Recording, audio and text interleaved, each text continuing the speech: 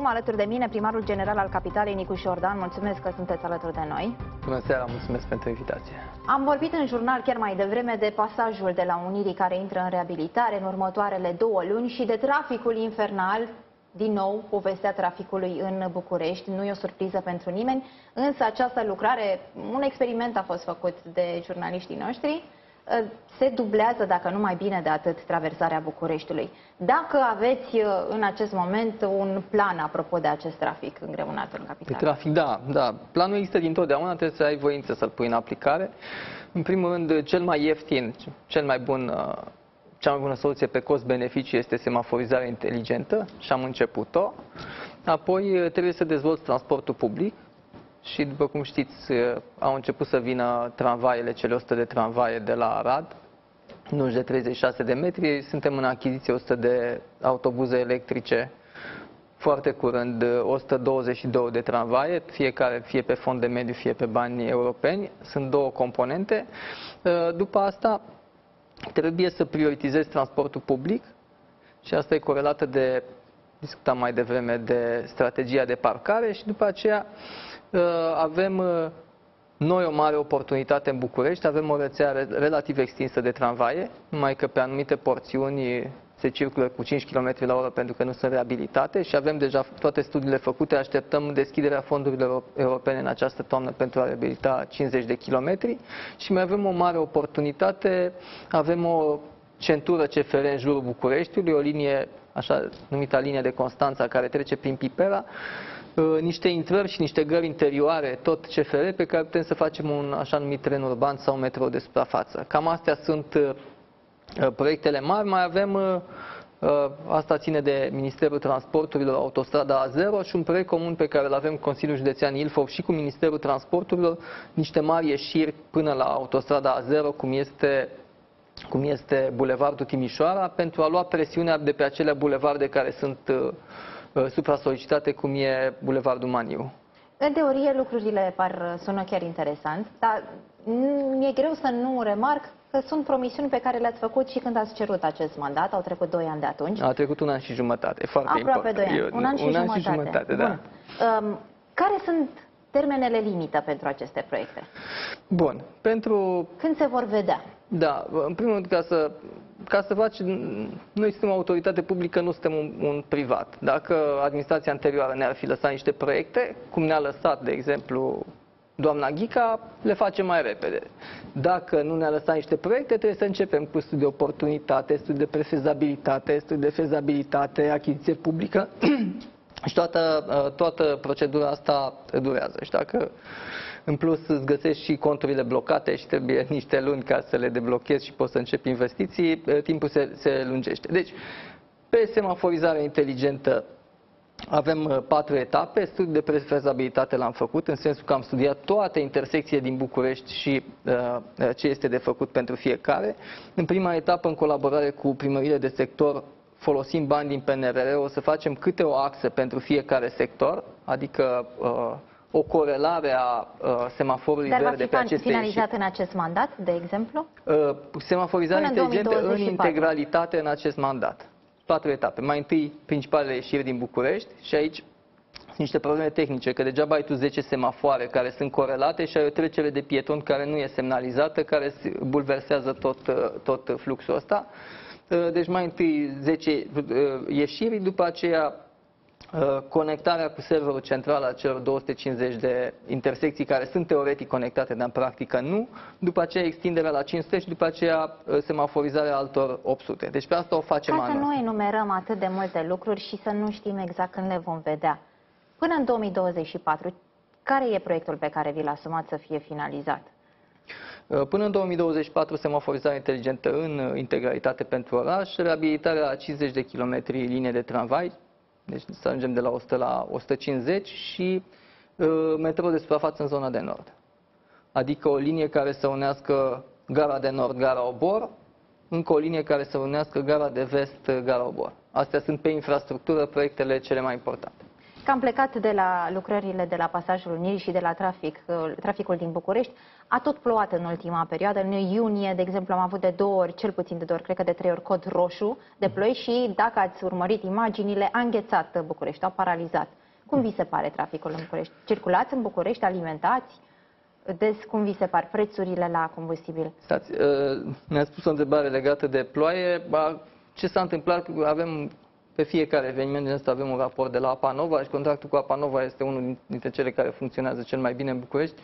Uh, la ultima ploaie care s-a întâmplat a fost că uh, cantitatea de apă care a căzut pe București a fost 30% din cât cade, deci în 3 ore a fost 30% din cât cade în mod uh, statistic în luna iunie. Deci a fost un eveniment cu adevărat excepțional și atunci bineînțeles că apa din acele ore a depășit capacitatea uh, proiectată a sistemului de canalizare al Bucureștiului. În rest, nu sunt mari adică probleme. Adică sistemul de canalizare n-ar avea o problemă dacă ar nu. ploua normal. Bine, el București. este în continuă întreținere, uh, sunt lucrările noastre atât la stația de epurare de la Glina pe care trebuie să terminăm până în 2023, ca să o adăugăm la lista pe care mi-ați cerut-o, cât și la uh, canalul colector, dar uh, acolo nu sunt mari probleme pe, pe ce, ce, ce înseamnă sistem de canalizare. Da.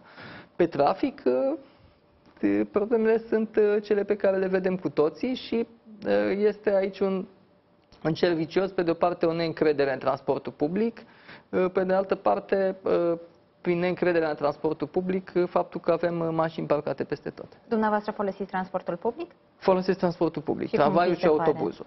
Da. Cum mi se, mi se pare? pare rezonabil, să știți. Rezonabil? Da. Aer condiționat ați prins de fiecare dată, curățenie, că a fost și o discuție apropo de cei de la protecția consumatorului care au și retras. Pentru de... câteva ore au revenit. Uh, acum, uh, tocmai a fost externalizată curățenia din transportul public din București. Adică până acum se făcea cu angajați proprii, de acum se face De ce cu... e rezonabilă și nu e normală, curat? De ce uh, nu e ah. curat transport? Pentru că a fost... Uh, pentru și de că, ce nu e alternativă bună? Pentru că uh, este un deficit de finanțare. Dacă sunt sigur că o să mă întrebați de termie mai încolo, uh, și pe transportul public și pe, uh, și pe termie, care sunt principalele două probleme ale Bucureștiului, a fost o lipsă cruntă de finanțare din 90 până azi. Și uh, uh, vă dau un exemplu, un tramvai costă, uh, cele pe care le cumpărăm noi de la Astra Arad, costă 2 milioane de euro. Un tramvai pe piață de o mare firmă occidentală poate să ajungă la 3,54 milioane de euro. Noi avem nevoie de 300 de tramvaie. Luăm acum 100, pentru celelalte 200 ne-ar mai trebui 500 de milioane de euro. Nu-i avem. Da?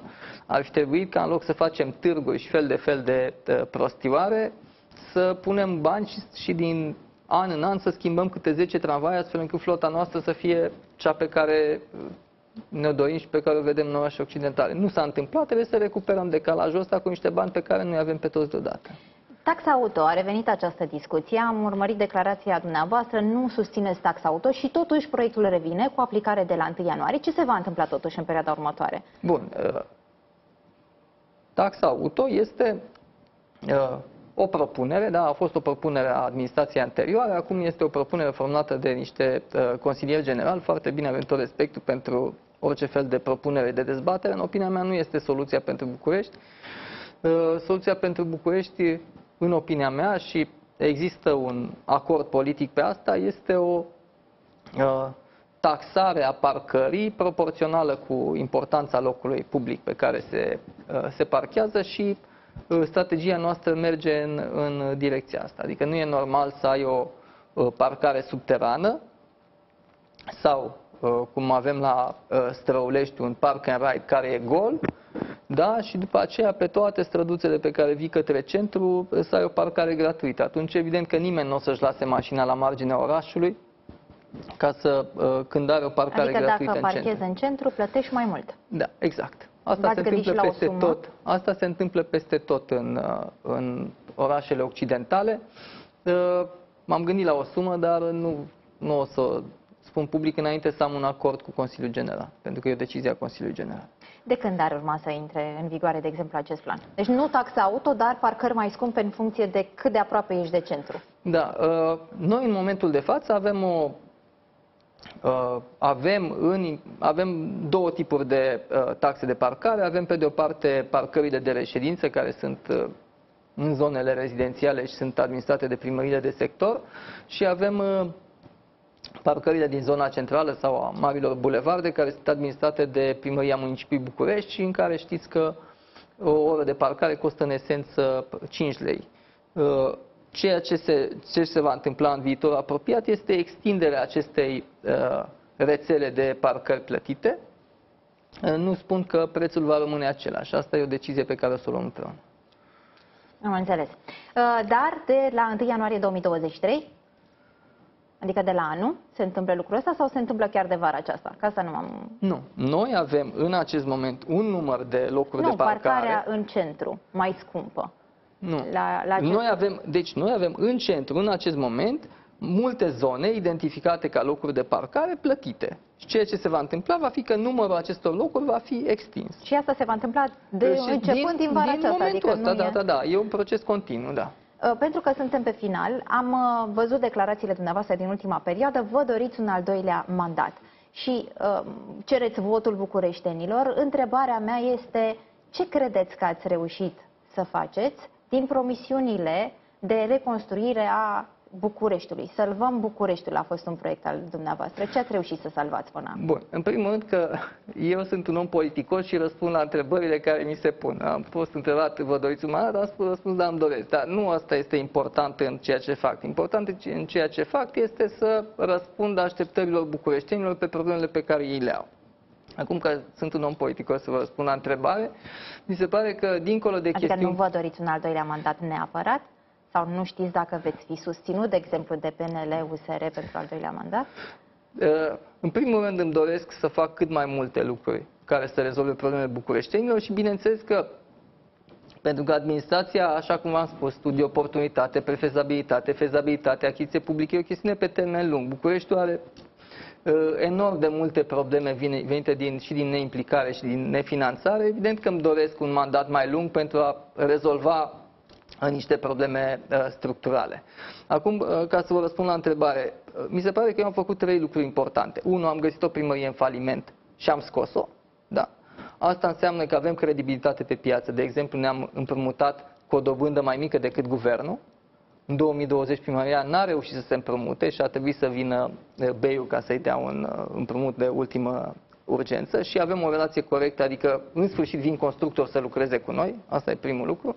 Al doilea lucru care nu se prea vede, dar e extrem de important pe zona de urbanism. Bucureștiul a avut o dezvoltare speculativă, haotică, care a făcut să avem blocuri de 10 etaje pe străzi de uh, 7 metri lățime, a avut să avem cartiere extrem de aglomerate și un trafic sufocat, distrugeri de spațiu verde, prin suspendarea puțurilor de sector am oprit această practică. Un lucru extrem de important și asta n-a fost numai o decizie de suspendare, ci au fost uh, zeci de litigi în care lucru? așa. Și al treilea, investițiile pe care le-am făcut am reușit în acest un an și jumătate să direcționăm investițiile către acele probleme structurale ale Bucureștiului. Adică nu hai să mai punem un pod aici, o, o, o panseluță aici, un parc aici.